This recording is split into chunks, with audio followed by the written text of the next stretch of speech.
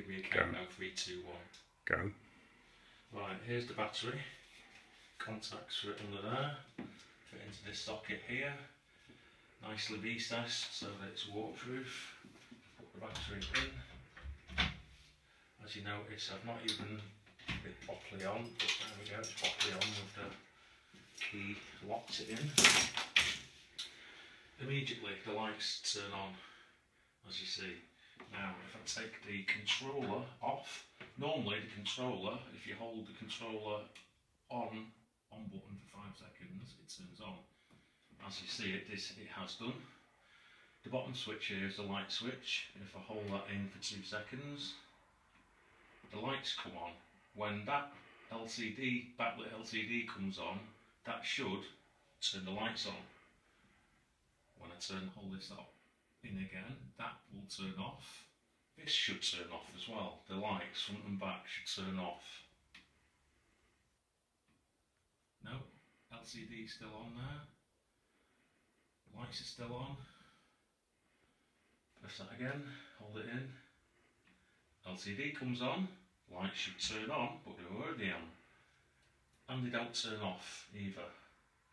When the LCD, can you see that the LCD's on there? If you come in, you can see that the LCD is on there, yeah? Yeah. Oh, excellent, brilliant. Right, if you come back off again, uh, I'll remove this. So immediately as I've taken, slid that off, it's turned itself off. But what you can see is the lights are on still. So the only way of turning the lights off now is by disconnecting the battery. Can turn the light, the front light off on its own switch as it has an off switch on the back of it. But the only way of turning the back light off uh, is with the key, taking the battery out, as you see.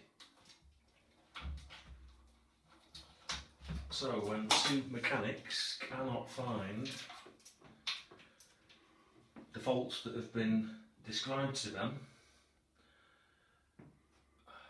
and I can, I'm not no, no bike mechanic, but I'm not trying to lie about any work that does or doesn't need doing on my bike. It clearly needs doing and it should clearly be under warranty.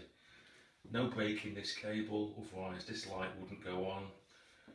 What can I say? That's not